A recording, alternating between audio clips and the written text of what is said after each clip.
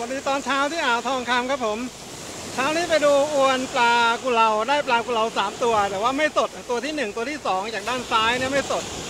ตัวที่สามที่สูงกว่าเพื่อนตาดำๆเนี่ยนนี้ยังสดอยู่นะครับผมเป็นไซส์เล็กนะไซส์ประมาณครึ่งกิโลนะนะครับผมสองตัวนี้ไม่ได้ติดอวนนะเธอเอาปากมาคาบเส้นอวนแล้วตายนะครับผมติดอวนตัวเดียวคือตัวซาอ่าตัวฝามือสุดตัวที่สูงสุดนะครับผมนะอันนี้คือวิถีของอ่า ปลา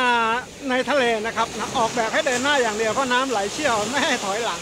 แค่คาบเส้นอวนก็ตาย นี่คือวิถีชีวิตนะวิถีธรรมาหากินวิถีธรรมชาติของสัตว์ในทะเลครับผม สวัสดีครับ